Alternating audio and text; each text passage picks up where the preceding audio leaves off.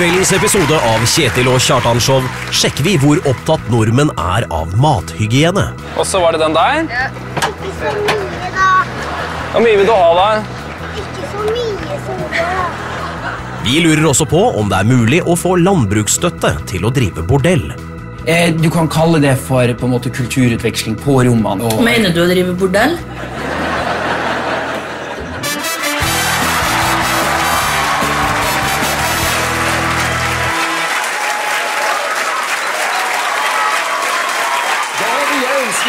Velkommen til Kjetil og Kjartansson. Eh, Det er jo da et program hvor vi eh, tester samfunnet med skjult kamera. Og vi tester forskjellige ting som interesserer oss da ved landet. Og det er jo ikke lite. Det er det ikke. I uh, Dagens Næringsliv så, så står det at norske bedrifter bruker 35% mer eksterne konsulenter. Dette er det tyder jo på en stor tillit til konsulenter generelt. Men uh, det vi lurer på, det er jo hvor eh, stor respekt har egentlig de ansatte på arbeidsplassene for konsulenter? Jeg dro til et gamlehjem for å se hvordan de ansatte forholder seg når de blir innkalt til en eh, medarbeidersamtale med en ekstern konsulent som kanskje snakker litt uh, usammenhengende.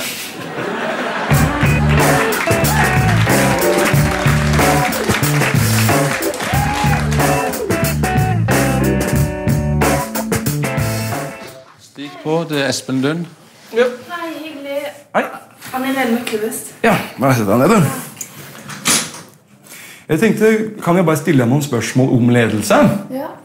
Um, hva er lederen som seg, altså som han kan? Hva Altså le, som, som leder, da. Ja. Hva Når han kan. Ja. Hva tenker du om det? Eh, Bare sånn generelt, altså. ja. En god ledelse, altså den tar ansvar for hele avdelingen og eh, Det er når han kan. Ja, jeg vet ikke hva du mener med 'når han kan'. Ja, når han er på jobb, eller Ja, Vi kan ta neste spørsmål. da. Hva, hva syns du om helsesektoren som sektor? uh, I den grad. Ja, det er veldig bra. Det er et godt tilbud og Altså i den grad. Det er sektor. Hva tenker du der? Ja, jeg syns det var vanskelig. Jeg skjønner ikke hva du er ute etter, egentlig. Eh, Jeg har et annet spørsmål her. Eh, Hvilke utfordringer mener du er de viktigste eh, som andre vil? Som andre vil. Ja. Eh, Da tenker jeg helhetlig. Ja Eh, Men hva er det lederen kan som ikke du kan, når du vil? De har jo da over altså Man er jo utdanna avdelingsleder, f.eks. Det, men det er når du vil, eller når han vil? Det er når eh, jeg Altså Du vil han, på en måte. Det er vel han, da. Det er jo veldig positivt. At man på en måte kan både være lederen, men samtidig også kan være på den andre siden. Men da fra den andre med en tosedighet i forhold til helheten. At den ikke tenker som den gjør når han er lederen. Samtidig som man vil det man kan, og de andre som har det man gir. øh, og de vil da se på det som en helhetlig øh, sak. Så vil jo menneskene også være de som gjør det som han vil, og lederen som det den vil eh, som ledelse. Og da, da tenker du veldig tosidig. Det er jo veldig positivt. Nå skal det handle om misunnelse. For uh, ifølge nettleksikonet Wikipedia heter det så fint, så er da definisjonen på misunnelse at man bl.a. ønsker å ha en annen persons eiendeler. Og da kan man jo tenke seg at uh, Blant voksne så må jo misunnelse da dreie seg om litt større ting. Sånn som f.eks. hus og bil og hytte og andres koner og liksom forskjellige ting. Men eh, vi har jo også en mistanke da, om at misunnelse blant voksne også kan gjelde sånne små filleting. Jeg prøvde meg som iskremselger, hvor jeg tok samme pris for en ø, stor is og en bitte liten is. Kan du få en eh, Hei, Hva vil du ha for noe? Ja, hva er det du har lyst på? En pistasje og en jordbær. Ok. Ja. Pistasje og jordbær. Deilig med is i varmen nå, da. Ja, det er godt, altså. Jeg venta på den nå. Sånn. Ti kroner blir det, da. Ja. Takk skal du ha. Ja. Jeg tar en crème brulé, og Ja. så skal jeg prøve Friskis-sorbé, sorbet, da. Sorbeten der, ja. Også crème brulé. Ja. Det er sikkert godt, det.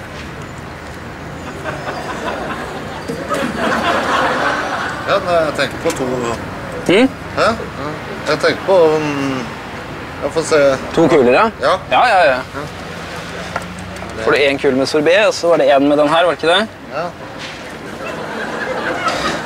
Ti kroner ble det, takk. Det var enorme beløp. Yes. Vi. Takk skal du ha.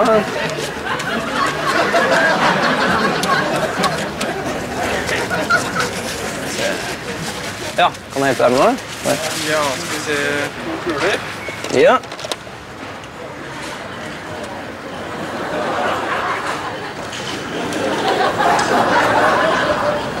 Sånn, vær så god.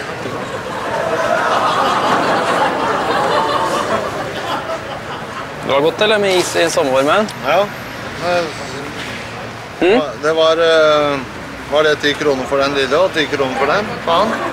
Ti kroner for det. Ja, ti kroner per is, ja. Nei, han fikk sånn kjempestor. Det kom en sånn mini til meg.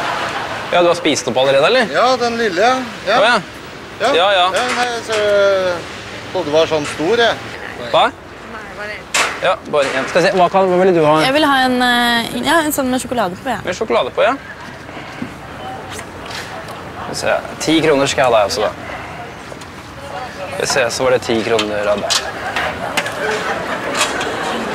Sånn. Vær så god. Hvorfor er så stor ti kroner den ti kroner? Hva sier du? Den koster ti kroner også. Ja, det er ti kroner pris, is, ja. Og den også? Ti kroner, ja. Men hva var dette? da? Hva sier du? Hva var dette? da? Eh, Sorbetis. Det hun tok, det er sjokolade. Du tar en sånn. Ja, med sjokolade? Ja.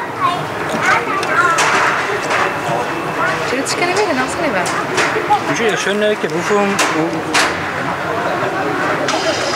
Skal vi se. Ti kroner skal jeg ha deg. Er dette sånn en um, filmgreie? Ja.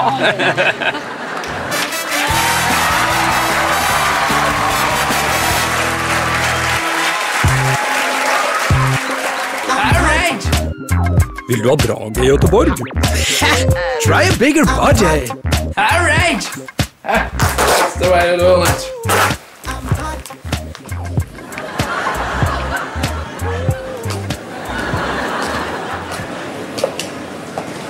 Unnskyld? Ja?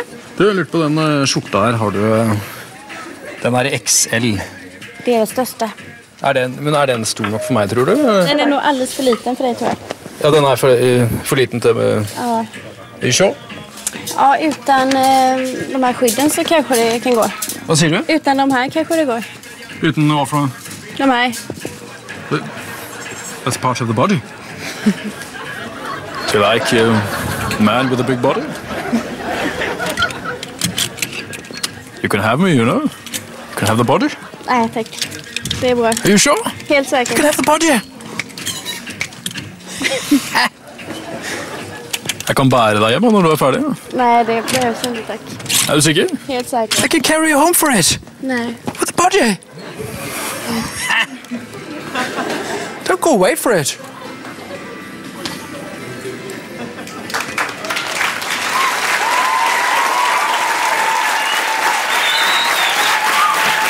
Jeg sitter her med en artikkel fra Nasjonen hvor det står at eh, 64% av bøndenes inntekter det kommer fra statsstøtte. Og det er visst da bare i eh, Sveits og på Island at eh, den andelen er større. Og da lurer jo selvsagt vi på eh, Vil staten gi bønder landbruksstøtte uansett hva de driver med på gården sin? Jeg oppsøkte Innovasjon Norge, som eh, gir støtte til bønder, for å se om det var mulig å få landbruksstøtte til å drive bordell på gården.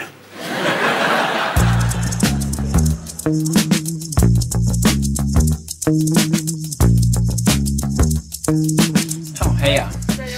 Steinar Dala heter jeg. Hyggelig. Jeg driver en gård uh, i Maridalen. Eh, og så lurer jeg på å, ø, å, å, å starte med litt sånn tilleggsnæring da, for, få, uh, for å få dette her til å gå rundt. da. Jeg ønsker å få noen kvinnelige arbeidere på, på gården. Innenfor hva da? Jobbe med hva da? Jeg har reist en del, og jeg kjenner jo de nigerianske eh, land, og så kjenner jeg også Thailand veldig godt. Eh, så Så du, du tenker på at du skal ha personer som skal drive gården for deg? du? Stell av dyr og melk og korn og den biten der? Ja, det må de også gjerne gjøre, ja. Eh, De må også gjerne gjøre det, men eh, det er også en del andre mannfolk eh, rundt omkring i området der som har på en måte sine eh, behov, eh, som, som på en måte kan At de kan da også komme til gården og på en måte bli kjent med de damene som jobber for meg, kan du si. Slik at vi får en, en, en slags kulturutveksling da, mellom dem. Eh, Og eh, jeg tenker f.eks. at eh, for en, for en halv time da, så kan jeg ta kanskje en, en 900 kroner eller noe sånt. For at de skal sitte og snakke sammen?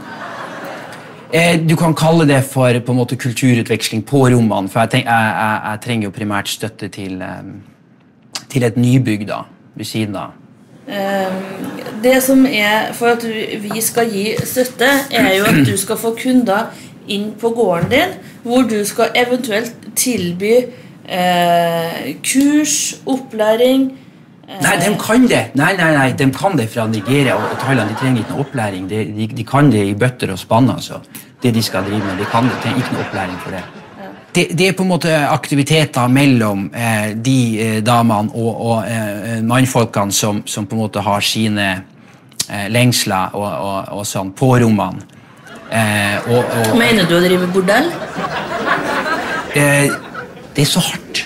Ordet Ja, er det, så det kan godt hende at det er hardt. Men altså prostitusjon, da?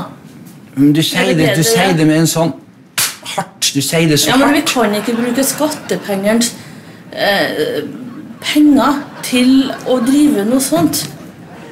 Det må du kunne forstå. Men altså, jeg, jeg er veldig opptatt av bygda og opptatt av å hindre fraflyttinga. og sånn. Og det sitter, jeg vet det, for jeg har undersøkt markedet der, det sitter en del steinkåte mannfolk oppi, oppi Maridalen som eh, på en måte det, det, er ikke, det er, er ikke statens problem at det gjør det. Men hvem sitt problem er det, da? Det er i hvert fall ikke staten. Du kan få en, du kan få en cut på 5% Er vi på cutten? Nei, Har vi en deal, da? nei, det har vi ikke. Skal vi shake hands på det? Nei, det vil jeg ikke. Jeg som trodde at dette var et unikt konsept. Han skal ha damer fra Thailand og Nigeria som skal komme og jobbe på gården. Så skal han bygge et eget eh, hus som da de damene på, som skal jobbe hos den, skal møte ha kulturutveksling på rommene på kveldstid, som man skal ta 900 kroner for en halvtime. Er hva- hvilken kulturutveksling? Ja, Nedbryte fordommene om hva de gjør på rommet, om det er samtale eller sånn. Så sier ja, skal du drive bordell, eller? spurte jeg. Ja, bordell var jo et sterkt ord, men det var ikke så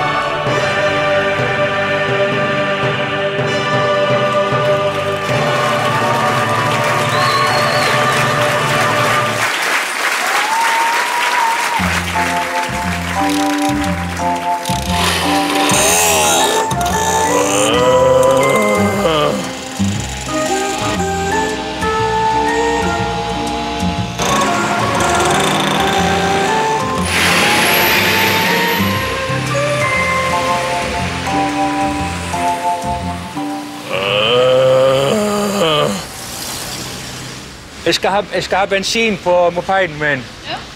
Ja. Men så får jeg ikke Jeg vet ikke hvor- hvordan Skal du fun- i 95? Jeg skal 95, ja. Nå sjekker jeg efter her. eh, Som jeg har tatt med Nei, fra vi får dessverre ikke imot sånt.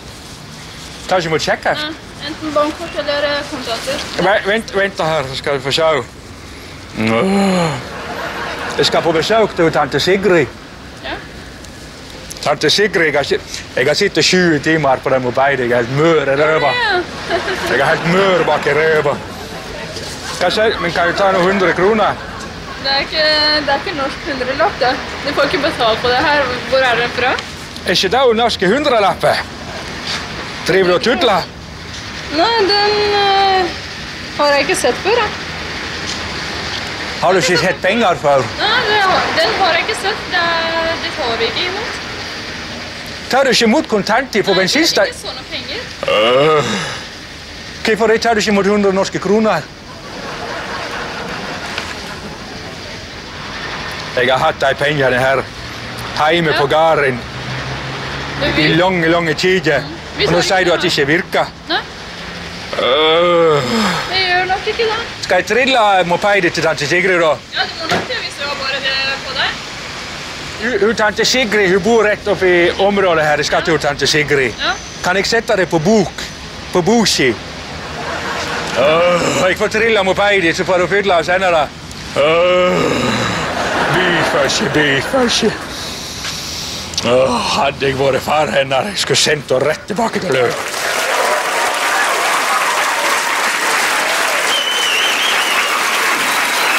Nå skal det handle om oppfinnelser. På Patentstyrets hjemmeside står det at ett av kriteriene for å få patent er at oppfinnelsen må være ny. Men eh, det vi lurer på, det er om eh, Patentstyret egentlig har så veldig god oversikt over hva som er gamle og nye oppfinnelser. Jeg dro til Patentstyret for å se om det var mulig å ta patent på paraplyen.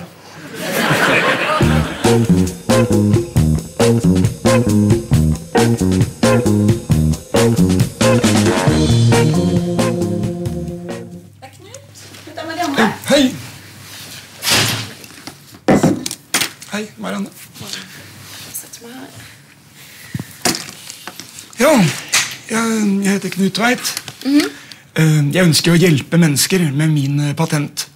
At det skal gjøre livet bedre for mennesker. Uh, og det dette uh, konseptet går ut på, det har jo da med regnvær å gjøre. Eh, altså Du har jo Du kan si at du har himmelen der oppe med, med regnet som kommer ned. Og så har du jo menneskene da som regnet treffer. Eh, og jeg ønsker på en måte å skape et, et skille mellom eh, vannet og eh, menneskene. Det jeg tenker, det er at det, eh, det skal være noe som eh, et menneske kan ta med seg. Som er eh, Det skal være at man kan Man vet jo aldri når det begynner å regne. Så da kan man eh, på en måte slå opp dette eh, å dekke seg med Ja. eh, når det regner. Mm. Eh, sånn at det da som, har en, som er vanntett, altså 100 Mhm. eh, uh, du har jo paraplyer, da. Uh, uh, ja, jeg, er ikke, jeg er ikke så opptatt av navn og begreper på ting. Jeg ønsker mer å hjelpe folk. Ja, nei, jeg, jeg skjønner ikke hva, hva, Kan du si litt mer konkret hva du hadde tenkt på? Hvordan det skulle Nei, jeg, må- jeg føler kanskje at du er litt negativ. Eh, bare litt et sånt tips at eh, Kanskje i samboerforhold og sånne ting, står du har det, at, eh, at man bør kanskje være litt positiv. Mhm. Ja, jeg, jeg beklager at jeg ikke kan være mer positiv til ideen din. Kanskje Nei, du har flere ideer? Nei, ja, altså øh, Jeg har eh, noen andre ideer også. Mm. Uh, det er at jeg, jeg er opptatt av det at jeg ser stadig vekk uh, mennesker som fryser på hendene. Eh, primært ungdom. Eh, det jeg tenker, som, noe som kan være mer moderne Altså at det er litt moderne klær eller noe sånt som på en måte følger fingrene. Ja. En hanske.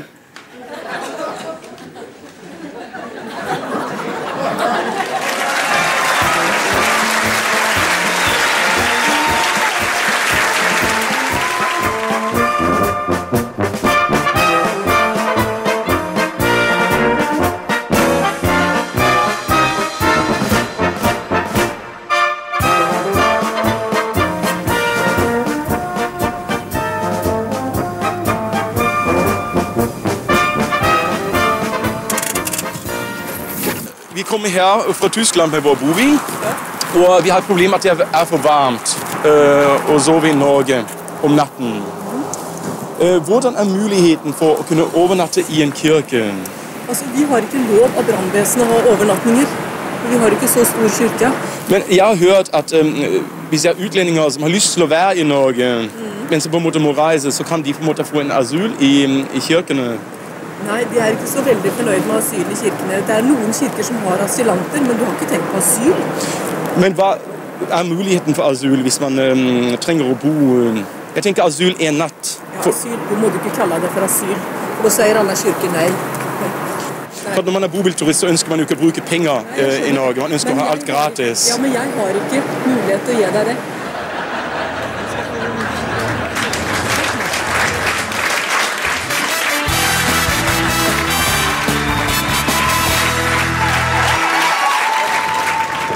Har du noen kulis? Hei, hei. Vi er to stykker som har lyst til å spise. Ja, det skjønner jeg godt. Mamma er rosa. Rosa. Ja, og oransje. Vil du ha rosa og gul sammen, Mathilde? Ja. Ja. Den og den sammen?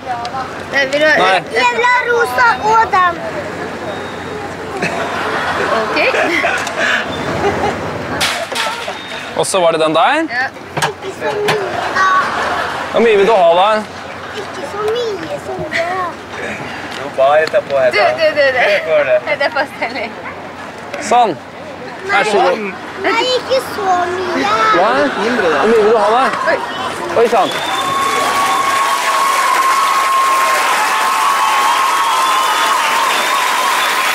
Det var det vi hadde for i dag. Velkommen tilbake neste uke, for da blir det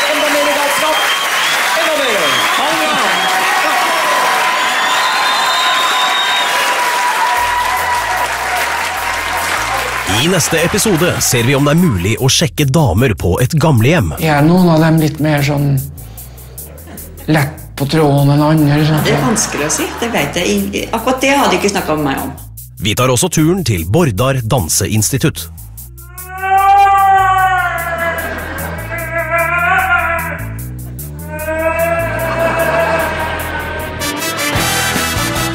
Kjetil og Kjartan er tilbake med nye sprell neste onsdag. Straks blir det nyheter, vær og sport, før Forsvarets trange økonomiske situasjon debatteres i Holmgang 2140. Den kritikerroste og omdiskuterte komiserien Californication har premiere 22.30 i kveld.